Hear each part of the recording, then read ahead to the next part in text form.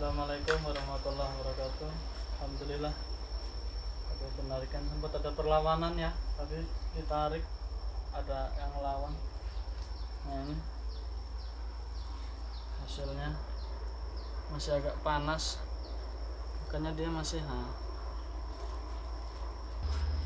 Ketika kita hendak menarik di suatu makam keramat, ini salah satu makam keramat.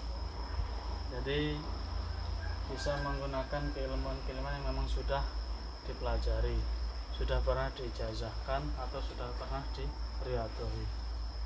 Terlebih khususnya kalau untuk menarik-menarik di makam-makam seperti ini kita ziarah dulu. Kita kirim fatihah kirim doa dulu untuk ahli kubur baru ketika sudah acara ziarah sudah selesai baru dilanjutkan jadi mungkin perlengkapan yang harus dilengkapin kalau saya pribadi secara umum kalau mustika mustika di tempat keramat ngelobinya ngelobinya pakai bunga telon bunga telon keraton. Sebab kalau udah pakai bunga telon keraton ya bunga telon keraton termasuk tataran bunga level tinggi. Jadi insya Allah kalau ketika kita ziarah tiba-tiba ada gambaran putih merah ke mengelilingi kita. Nah itu bisa diambil dari salah satu bunga telon keraton itu. Bisa mawar merah mawar putih kantil. Cukup kita suguhkan aja. Kita kumpulkan energi yang banyak ditumpukan bunga telon itu tadi. Ketika sudah merasa sudah cukup lihat perlawanannya. Kalau memang kita kita baca ayatnya kita baca doanya kita baca ilmunya semacam ada tarik menarik yang yang lumayan kuat kita kunci. Setelah kita kunci energinya makanya kenapa diusahakan dia tangan dua jadi dia stabil. Nggak akan narik ke sini larinya ke sana jatuhnya di sana nggak. Dia tetap akan mengikuti di mana energi yang kita kunci dia akan turun.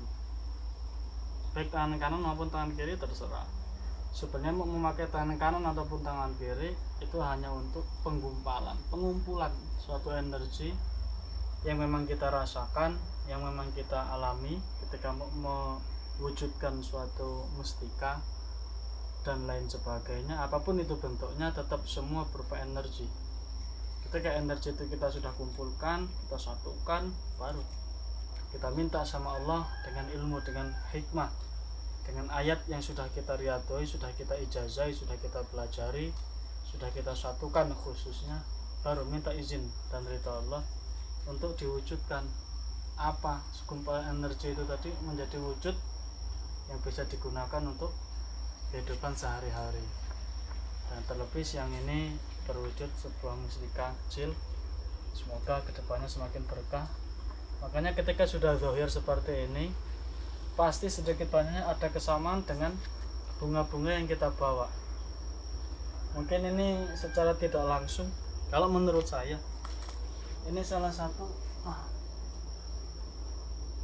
nih. Mungkin kurang lebihnya nah bahkan ukurannya pun tidak lebih besar daripada bunga yang sudah dibawa dari rumah makanya jangan heran. Semakin kuat energi suatu pusaka mustika tosan aji pasti semakin banyak peralatan yang akan dibutuhkan. Karena apa? Mustahil kita minta sesuatu kepada seseorang kita tidak memberi sesuatu.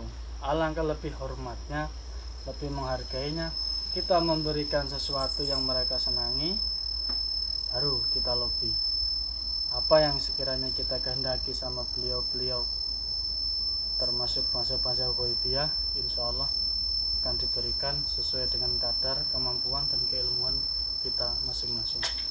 Oke semoga bermanfaat. Assalamualaikum warahmatullahi wabarakatuh